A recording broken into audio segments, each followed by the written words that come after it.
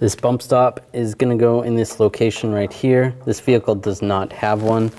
Um, it has either rotted away or never had one from the factory.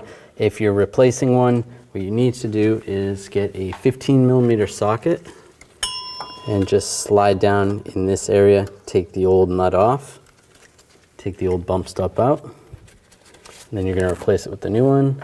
There's a little pin right here that lines up. Right there.